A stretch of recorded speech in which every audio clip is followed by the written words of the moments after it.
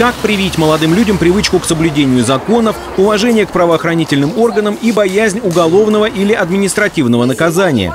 Эти правильные социальные установки легко сформировать в юном возрасте, если привести человека в обыкновенный отдел полиции и приоткрыть для него некоторые стороны работы подразделения.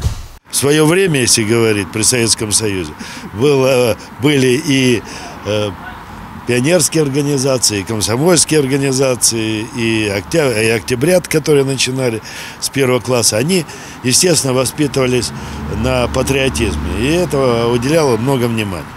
Э, э, то, что было в какой-то период упущено. И сейчас вот это приходится нам наверстывать.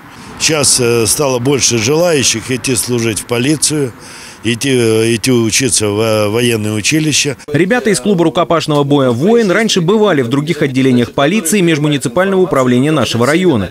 Поэтому со многими тонкостями службы уже знакомы. Но кое-что все равно даже для них в диковинку. Вся Московская область, вся Россия видит, если, допустим, если в каком-то другом отделе этого же человека задержали за какое-то другое правонарушение, то они могут с нами связаться и спросить, как, какая э, есть у нас информация. В этом отделе полиции экскурсантам очень понравился ТИР. Таким может похвастаться далеко не каждое подразделение. Конечно, пострелять по мишеням юным посетителям не удалось. Сначала нужно стать полицейским. Всего лишь три девочки у меня на 84 человека, а мальчики занимаются, потому что из них большинство хотят поступить в военное училище или поступить в МВД.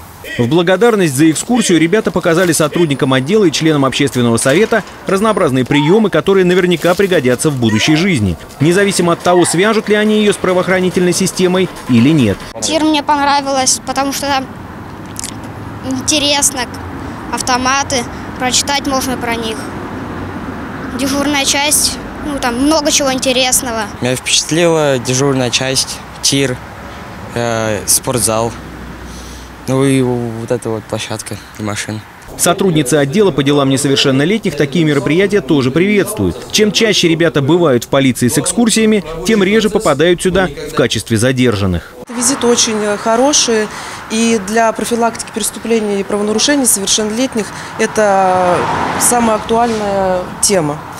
А, поэтому мы всегда рады видеть ребят, а, чтобы они сюда к нам приходили. Мы им а, показываем, ознакомливаем.